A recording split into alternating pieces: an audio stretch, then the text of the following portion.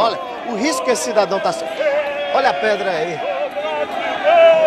Meu senhor, o senhor está passando um risco. Cuidado, Roberto, cuidado. Meu senhor, o senhor está passando Roberto. risco. Ó. Aí, ó. Olha a pedra aí, meu cidadão. Olha aí o cidadão. Tem muita pedra aí, cidadão.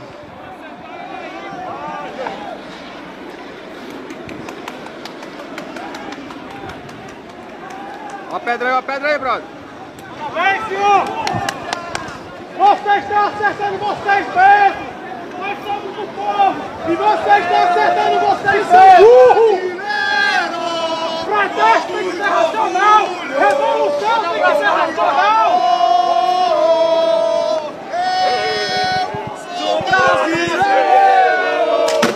Olha, lá tem bomba de gás. Bomba de gás, Márcio. Ai, olha aí. Afasta, Márcio. Bomba de gás, olha. O cidadão lá, mostra lá. Olha a pedra aí. Olha o cidadão lá, tá indo pra frente, rapaz, o perigo. E aqui, olha, fica sem condições da gente respirar.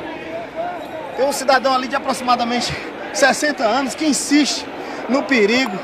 Muitas pedras. Tá cantando o hino nacional. Vamos tentar. Cuidado, Roberto, cuidado aí. Cuidado aí.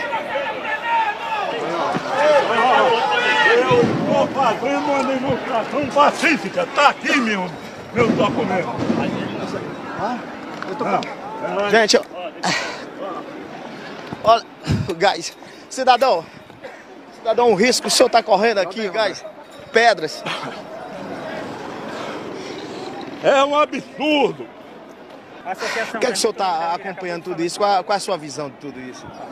A visão é que já está na hora de fazer um plebiscito para tirarem esses políticos que não representam nada, fazer uma reforma política. Nós precisamos é de um democracia. É, Juiz, juiz aposentado. Agora o senhor está correndo um grande risco, né, seu Silvio, aqui, em meio a pedras, bomba de gás. O senhor não teme tudo isso? O que, é que o senhor diria para essa juventude que está querendo sim os direitos? Mas Eu sou veterano de- da- das lutas de 68, não tenho medo disso não. Olha lá, tem bomba de gás aí, bomba de gás, bomba de gás, afasta, afasta. Afasta, olha. As bombas, mais uma vez, olha, tá tendo um tumulto danado. Correria, gente caindo.